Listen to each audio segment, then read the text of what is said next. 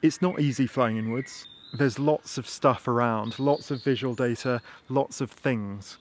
And so making it easy for yourself is really important. I've got six tips on how to fly in woodland and these should help make really nice, beautiful cinematic footage.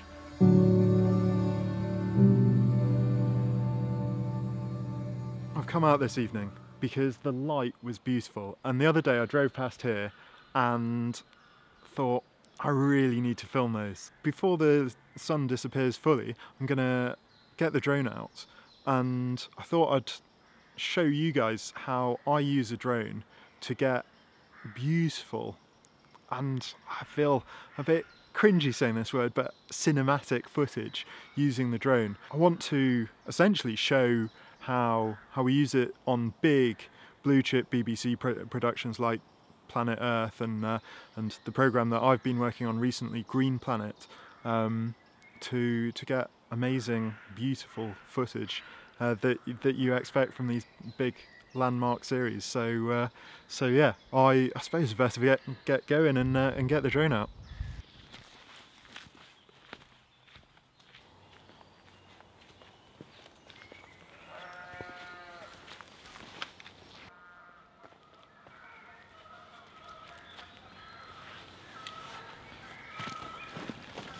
So making sure to stay on the path I'm going to uh, set the drone up quickly. I'm losing the light, so I'm not going to film it. Um, but get this set up and then film and then chat to you guys later.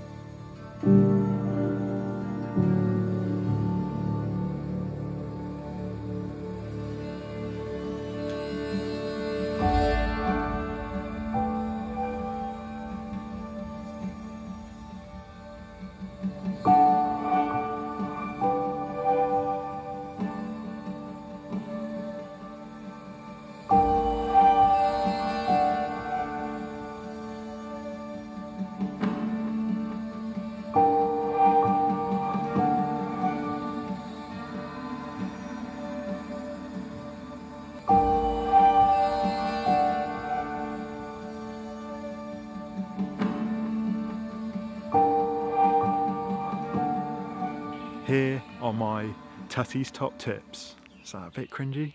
Well, I've got five tips anyway. Some are to keep the drone safe and some are to get beautiful cinematic shots when flying within woodlands. And it's, it's quite a tricky thing to do.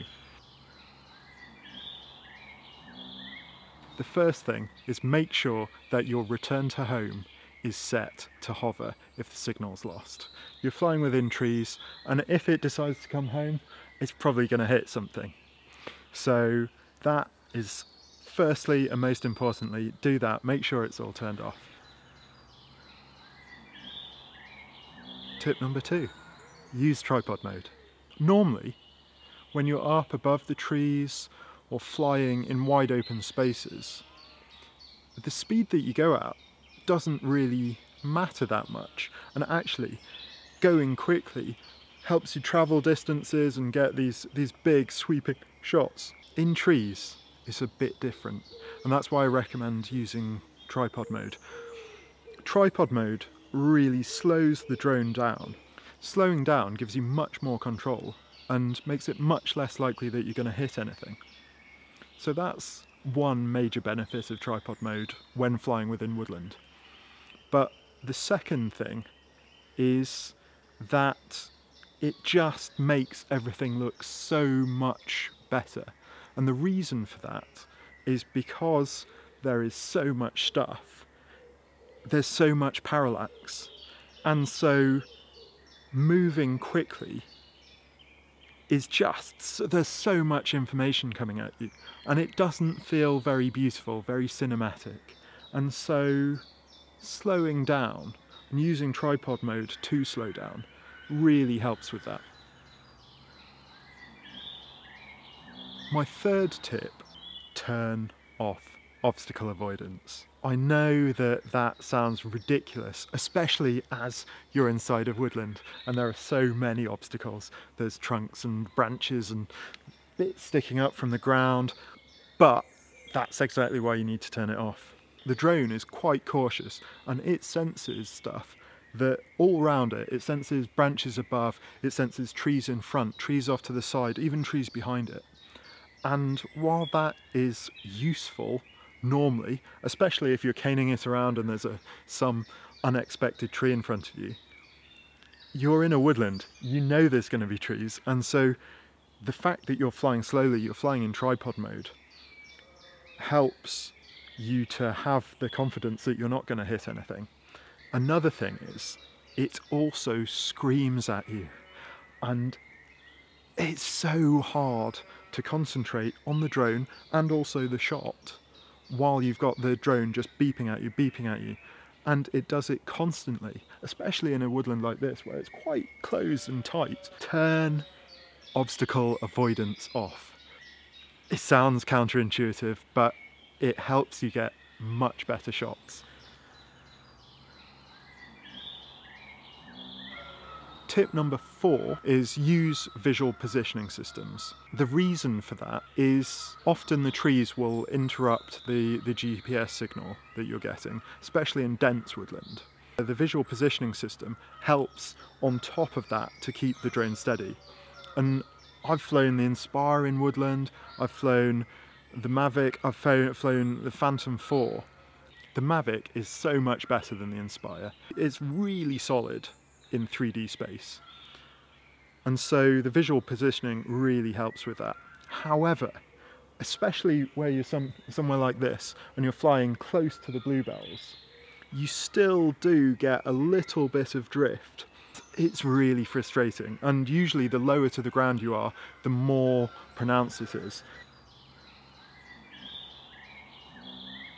Tip number five. This is how you make all the footage cinematic.